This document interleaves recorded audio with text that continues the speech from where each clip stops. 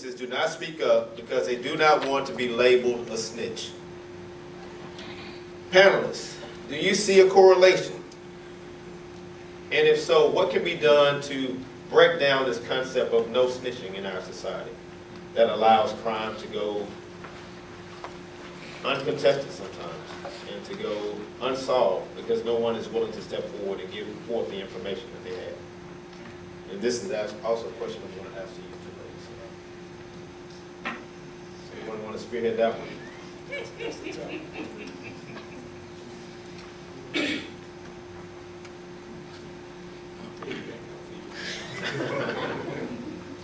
Thank you, Mr. Rose, I appreciate that. Um, no snitching. It's interesting because I, I, we contradict ourselves. Um, it starts in the home. It's perpetuated in the schools. The number one correlation right now that we can look at is the bullying we have thrown millions of dollars into an anti-bullying campaign. Um, When I worked for Southern Poverty Law Center, that was my job. I was director of uh, the Mix It Up at Lunch Day program, which essentially is an anti-bullying initiative that was in middle schools and high schools um, to try to get kids to accept one another and their differences and come together um, because lunch, just like Dr. King said, the most segregated hour of the week is Sunday morning between 11 and noon. Uh, the most segregated hour of the lunch day, or, or the school day is, you know, that same time at lunch. Um, I remember my daughter in sixth grade, they had introduced this bully box. It's this anonymous box, and I think most schools across the country nowadays are doing it an anonymous box that's located in every hallway, the principal's office, it's one in every classroom, kind of like a suggestion box, and you're supposed to put down your grievance, you know, what happened, who did it, whatever, put it in this box, walk away, nobody would ever ask you a question, you don't identify yourself. The teachers at the end of the day are supposed to pull them out, report them to the office, and then they deal with whatever the issue is. Her homeroom teacher told them, you better not I don't have time to deal with this. I'm not interested in deal with this, dealing with any of this. Suck it up and deal with it. And that's what a lot of parents say at home. Suck it up, deal with it. You know, one of the questions that you proposed was um, nonviolent. How can youth today be nonviolent? Oftentimes, we're still teaching kids to, to go fight, beat them up. You got a problem, beat them up. Um, there was a, a, cartoon circulated on Facebook for a while, every now and again it resurfaces. It's an image of a classroom, it says then, and it's an image of a classroom, it says now. It's a teacher behind a desk, a child, and two parents in both situations. Um, in the then picture, it is the child, you know, kind of couched under, the parents standing over the child, the teacher with a look on their face like, mm-hmm, you know, now you're gonna get it. In the now picture, it is the teacher, you know, cowered under, the child standing there like, what you gonna do, and the parents in the teacher's face. That's a that's our reality right now, you know, and so we're we're we're saying at home, you know, um, we're, we're we're spending all this money and we're putting out this thing of. Um, you know, don't bully, don't be a bystander, um, you know, stand up, be an ally to a friend, you know, even to a non-friend, you know, or whatever, and um, it's looked down upon. You know, that's not acceptable behavior because nobody, the adults don't want to deal with it. Uh, we're not empowering uh, the kids with the words that they need to be constructive. Um, there's still a fear of police. You know, that's another issue when we talk about racism and where are we now. Um, we're still in the same place in a lot of ways, just like Mr. Roper said. You know, we have a fear. We have a fear of the government. We have a fear of police. You know, we don't want to put ourselves in a position where the attention can be spun and focused on us. We want to stay, you know, flowers against the wall. We want to blend in. We don't want to stand out in any kind of way. And we could talk about that from an academic standpoint. We could talk about that from an activist standpoint. But definitely when it comes to, you know, the streets, I mean, we have this whole street hood mentality thing that, I mean, whatever, come on, for real. It's time to wake up. I mean, it's, it's irritating, it's boring, you know, do something different. Mr. Odom, what is your take on how the whole concept of no snitching can be addressed among young people? Um, It starts in the home, teaching. We are also often. We're often bullied in school, so our friends, you know, it's peer pressure. But if you start in the home as parents, teaching your kids the difference in right from wrong, then we can better serve our community. Ms. Kennedy, what do you think you will teach your kids about the concept of not telling who did what or not reporting wrongdoing? Um, it's kind of crazy. It's so many answers to it, but it, it seems like you should only have one. Um, I mean, I'm still young myself. I see it go on every day. You, it's in, it's, it's grounded in you to not snitch. I mean, if you got a brother or sister, your mama gonna tell you, stop all that telling. Cause you, you know, you, you constantly telling on them and then you, you go to school and you got somebody that's bothering you and how you expect to take that on.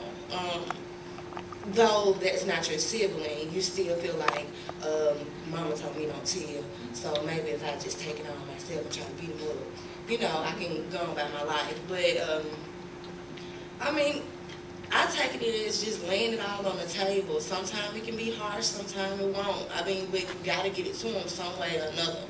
Um, I never really been one to try to hold it back, but as far I have a daughter now, she's nothing but one. But I know it's gonna come a time where I have to sit down and explain certain things to her. Um, I just have to be the one to just put it on the table and explain to them, well, certain situations may arise, but it's up to you to take the time and figure out what would be the appropriate answer to doing so, rather than just because I told you, you know, stop all that telling.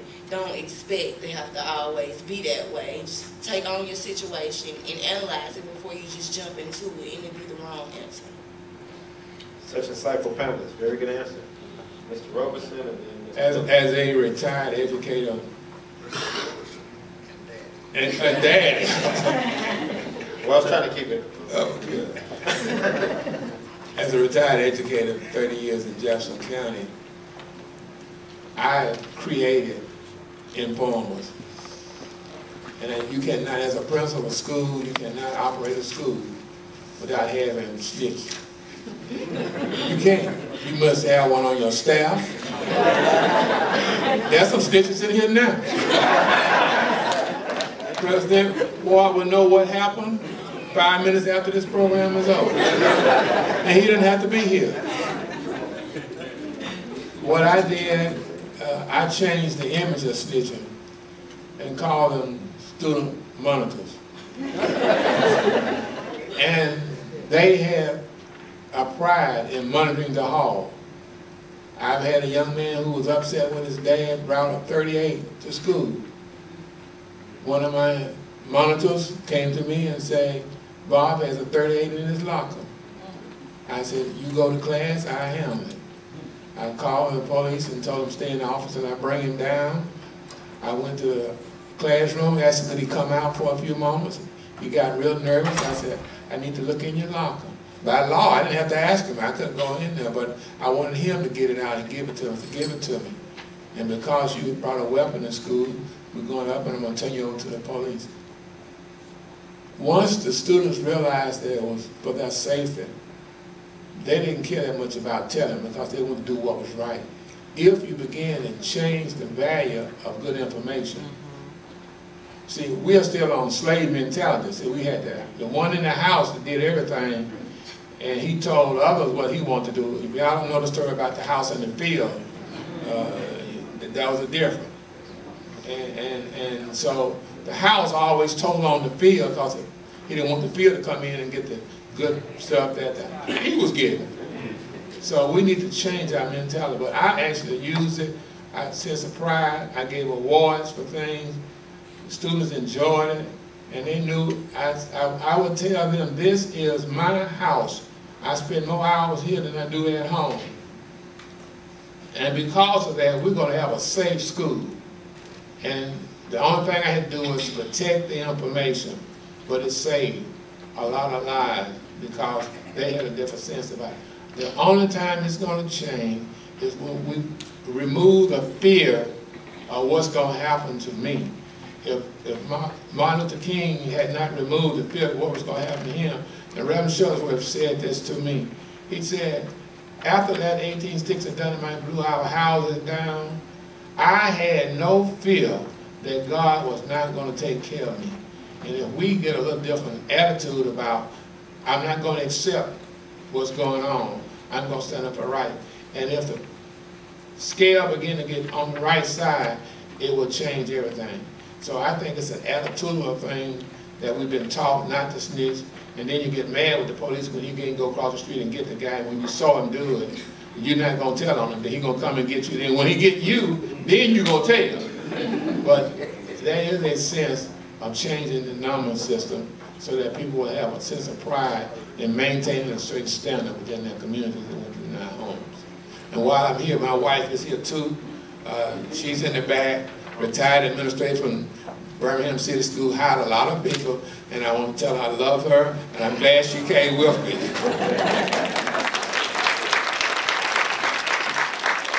Thank you, That's real snitching there. thank you so much for that answer, and you wanted to address that?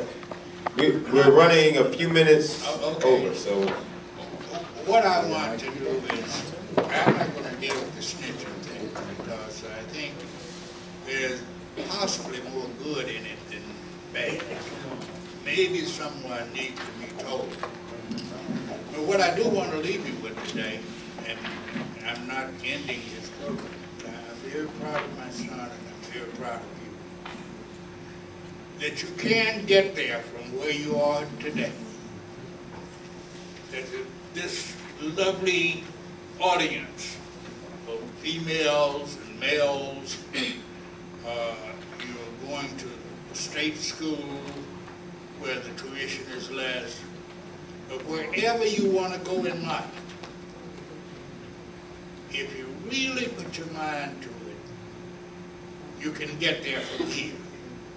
I want to thank you for coming out in support of this program, but I don't want you to leave without readjusting if you need it, your thinking. That I'm on the right track, I just gotta keep, I gotta keep going. Keep moving. Congratulations to all of you for being here. There are so many of you, who, uh, us, who are in jail or someplace else, but I think you'll make it doing good with your time, and I just want to tell you, thanks so much, and make my son's job easy. I don't mean that uh, he's not willing to work, but help him, because you can get there from here, but you're gonna have to listen and work hard. in addition to thanking those One thing, one thing. Yes, sir, Father. See what I mean? But I'm from a family of five. My mother passed when we were just young children. And my big sister turned into a United States congressperson, the first female black to head a major committee. She passed away a couple of years ago. We all have college degrees, and our children are doing well. I'm just saying, it's, it's not easy, but you're on the right track, and, and, and just keep pushing. And if we can help, let us know.